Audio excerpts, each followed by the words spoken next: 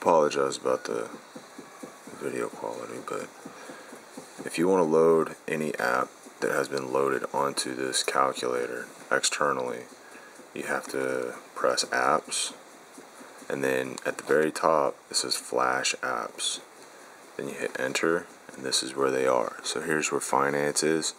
You just hit enter and now it's loaded. So as you can see I already have some stuff loaded in here but let's clear it out just to give you an example.